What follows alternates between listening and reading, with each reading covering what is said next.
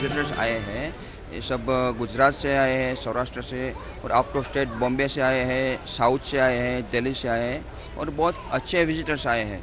तो सब लोगों का सबका रिस्पांस अच्छा है और जहाँ की मेरे, मैं मेरी बात करूँ तो बहुत अच्छा रिस्पांस रहा है मुझे। हमारा पहला प्रयत्न था बी टू बी बिज़नेस करने का। राजकोट है वो इंडिया के टॉप मोस्ट मैन्युफैक्चरिंग देशों गाँव में से सिटी में से एक है राजकोट। तो यहाँ पे हम बहुत सफल हुए हैं। जो हमारा अंदाज़ा था कि कितने लोग आएँगे तो पूरे इंडिया भर से लोग यहाँ पे आए और यहाँ 150 ज्वेलरी के स्टॉल है। और सब अलग अलग ज्वेलरी जो जिसके लिए राजकोट जाना जाता है नेशनल लेवल पे, वो सब ज्वेलरी के अलग अलग स्टॉल थे और सबने बिज़नेस किया है।